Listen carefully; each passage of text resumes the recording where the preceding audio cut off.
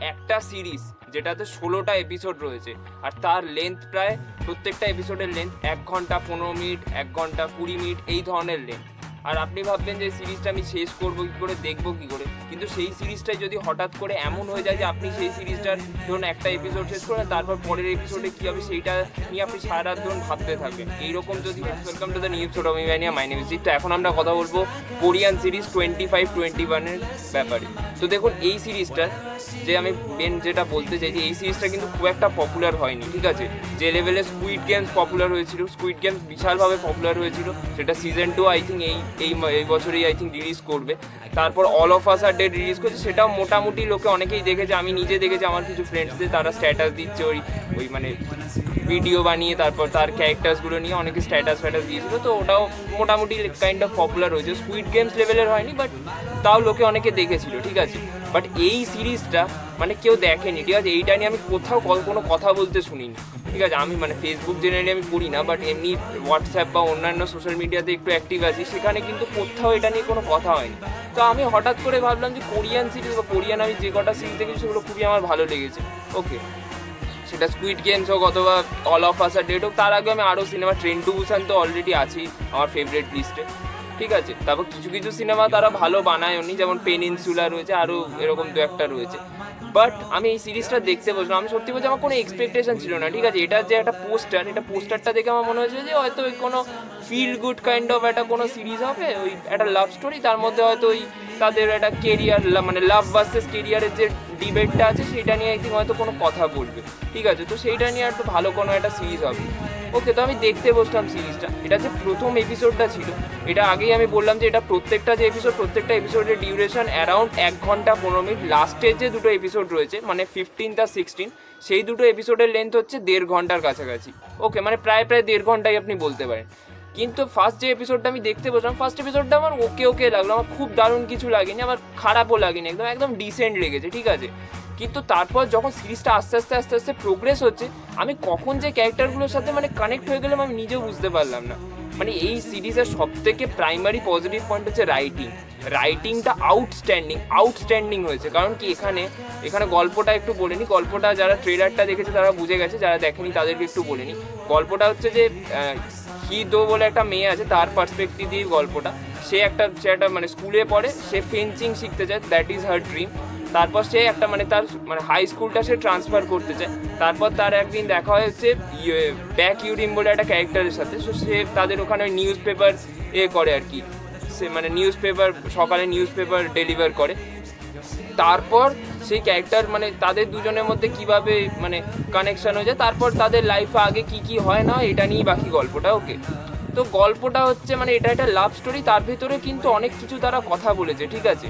মানে লাভ স্টোরিটার ওপর এখানে সব থেকে রাইটিংয়ের পজিটিভ পয়েন্ট এটাই যে লাভ স্টোরিটার ওপর কিন্তু ফোকাসটা পুরোপুরি রাখেনি। সেইটার মানে কিছু মোমেন্টস ডেফিনেটলি রয়েছে that was really really amazing কিন্তু সেগুলো অতটা নেই মানে অতটা মানে এমন আমরা জেনারেলি লাভ স্টোরিতে দেখি না যে, লোকে কিছু মানে ফিল গুড মোমেন্টস তৈরি করে, একটা মানে দুটো সেন্ট্রাল ক্যারেক্টারের মধ্যে, কিন্তু এখানে পজিটিভ পয়েন্ট হচ্ছে যে এখানে সেই জিনিসটার থেকে র্যাদার বেশি সাবজেক্টটার ওপর ফোকাস করছে। র্যাদার সিনেমার মানে অন্যান্য যে বিষয়বস্তু, সেই জিনিসটার ওপর ফোকাস করছে। তাদের কেরিয়ারে যে মানে গ্রোথ হচ্ছে, কখনো ফল করে যাচ্ছে, সেই যে পার্সপেক্টিভগুলো সেইগুলোর ওপর তারা বেশি ফোকাস করেছে। তো that is the positive point of the writing এছাড়া আরেকটা যে পজিটিভ পয়েন্ট রাইটিংয়ে সেটা হচ্ছে যে এখানে যে দুটো সেন্ট্রাল ক্যারেক্টার আমি বললাম হিদো আর ইউরিন, ঠিক আছে?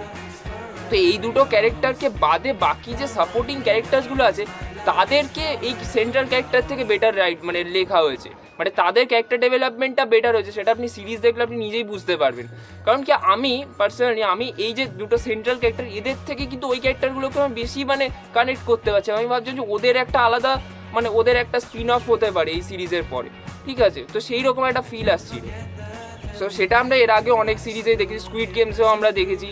অল অফ আসার ডেটেও এরকম কিছু ক্যারেক্টার ছিল, যে যেগুলো মানে যে সেন্ট্রাল ক্যারেক্টার এছাড়া বাকি যে সাপোর্টিং ক্যারেক্টার ছিল সেগুলো ভালো হবে। এটা কোরিয়ানরা জেনারেলি করে বাট এই সিরিজে আমি বলব, আমি রোম্যান্টিক সিরিজ জেনারেলি মানে কোরিয়ান সিরিজ আমি দেখিনি। এটা ফার্স্ট আমি রোম্যান্টিক কোরিয়ান সিরিজ দেখছি।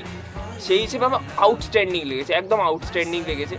এছাড়া আমি রাইটিংয়ে আবার ফিরে আসি। তো রাইটিংয়ে যেটা বলছিলাম যে মানে বাকি যে সাপোর্টিং ক্যারেক্টার আছে, যেমন ইউরিম বলে একটা ক্যারেক্টার আছে, সে হচ্ছে মানে মানে এই হিদোর যে ক্যারেক্টারটা, সে হচ্ছে তার ফ্যান আর কি। সে একটা গোল্ড মেডেলিস্ট মানে প্রিভিয়াস গোল্ড মেডেলিস্ট ফেন্সিংয়ে তারপর এদের দুজনের মধ্যে যে একটা মানে কি বলব, একটা মানে টাসেল থাকে সবসময় যে হিদো গোল্ড মেডেলিস্ট জিততে যায় বাট ওই ইউর- ইউরিম যে ক্যারেক্টারটা সে ওকে জিততে দেবে না। তারপর এদের মধ্যে মানে লাস্টে এমনভাবে লাস্টে দুজনের মধ্যে যে ফ্রেন্ডশিপটা হয়ে যায়, ওটা আই থিঙ্ক নাইনথ এপিসোডে রয়েছে।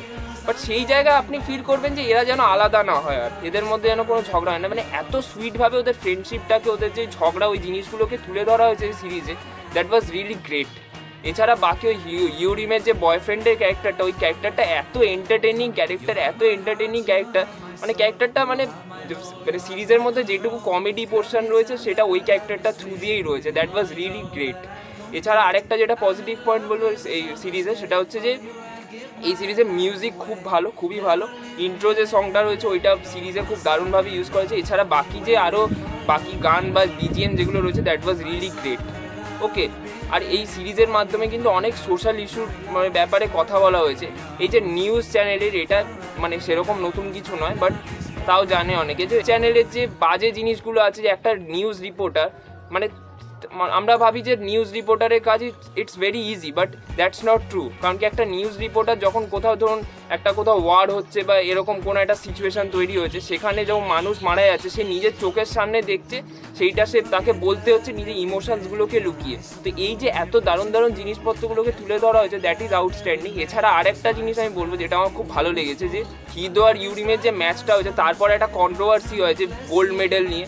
ঠিক আছে? সেইখানে এই যে নিউ একটা নিউজ চ্যানেলের কি হয় যে ধরুন প্রিভিয়াস কেউ একজন গোল্ড মেডেল পেয়েছে, ঠিক আছে? এবার তার নামটা ইউজ করে তাকে দিয়ে একটা মানে টিআরপি করে গেন করে, এই ধরনের যে একটা পার্সপেক্টিভ হবে সেইটাকেও এই সিরিজে এত দারুণভাবে দেখানো হয়েছে। আপনার জাস্ট মানে আপনি জাস্ট মানে এ করে, রেগে মানে আপনি you are getting angry to see that তো সেই জিনিসটাও খুব দারুণ। পারফরমেন্সেস প্রত্যেকের ভালো, আমার প্রত্যেকের পারফরমেন্স দারুণ লেগেছে। ইভেন ছোট থেকে ছোট ক্যারেক্টার যে একটা সিঙ্গেল সেকেন্ডের জন্য এই সিরিজে রয়েছে, প্রত্যেকের পারফরমেন্স আউটস্ট্যান্ডিং লেগেছে আমার। আর প্রত্যেকের মানে ক্যারেক্টার্সগুলোকে আমি আগেই বললাম, যেভাবে লেখা হচ্ছে that was really really outstanding এছাড়া সিরিজটা যেভাবে শেষ হয়, সেইটা দেখে আপনি নিশ্চয়ই নস্টাইলজিয়া হয়ে পড়বেন। আপনারও নিজের স্কুল কলেজ ডেজ অথবা নিজের ফ্রেন্ডসদের সাথে চিল আউট করার যে ডেজগুলো ছিল, সেইগুলো আপনার ডেফিনেটলি মনে পড়ে যাবে।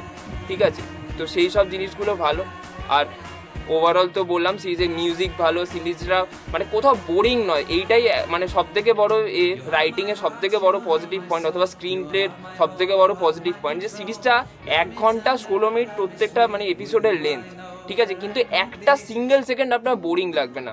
ঠিক আছে, এবার হ্যাঁ আমার নেগেটিভ পয়েন্টে যদি বলি, তো কিছু কিছু জায়গা, সামান্য কিছু কিছু জায়গা রয়েছে যেগুলো আমার মনে হয় একটু কেটে দিলে বেটার হতো। কারণ কি সিরিজটা বড্ড লেন্থ আর প্রথমের দিকে সিরিজটা যখন ওই মানে ফার্স্ট এপিসোডটা আমি বললাম যে ফার্স্ট এপিসোডটা যখন দেখলাম, তখন আমার অতটা কিছু ফিল হয়নি। কিন্তু আস্তে আস্তে আপনি জিনিসটার সাথে কানেক্ট হবেন, ঠিক আছে? তো আপনাকে একটু পেশেন্স রাখতে হবে। অনেকে এরকম করে, আমি দেখেছি যে সিরিজটা হয়তো প্রথম দুটো এপিসোড ভালো লাগল না, বন্ধ করে দিল। তারপরে মানে কন্টিনিউ করল না। তো সেইটা করলে আপনাকে হবে না। আপনাকে পুরো কন্টিনিউ করে দেখে যেতে হবে। এবার এইটাকে বিঞ্জ ওয়াচ কেউ খবরদার করবেন না, কারণ কি বললামই প্রত্যেকটা এপিসোড খুবই লেন্দি তো আপনার ষোলো থেকে সতেরো ঘণ্টা ওয়েস্ট হয়ে যাবে, সেটা কোনো বুদ্ধিমানের কাজ নয়। তো আপনি পার্টস অ্যান্ড পিসেসের সিরিজটা দেখতে পারেন। তো আমার খুবই ভালো লেগেছে সিরিজটা। আর একটা কথা বলব যে স্কুইড গেমস নিয়ে যেভাবে লোকে কথা কথা বলছে, এই সিরিজটা নিয়েও কিন্তু ইকুয়ালি কথা বলা উচিত বিকজ এই সিরিজটাও সেটা ডিজার্ভ করে। This series is really really amazing আমার দারুণ লেগেছে। আর যারা রোম্যান্টিক লাভার মানে যারা রোম্যান্টিক জনরার ফ্যান তারা এই সিরিজটা ডেফিনেটলি দেখতে পারেন। That is the must watch for those audience so এই সিরিজটা নিয়েও ডেফিনেটলি আপনারা কথা বলুন, এই সিরিজটা দেখুন, আপনাদের খুব ভালো লাগবে। আমি এই সিরিজটাকে রেটিং দেবো ten out of ten star so আমার কিচ্ছু নেগেটিভ লাগেনি সিরিজটার মধ্যে। So thank you so much for watching this video bye bye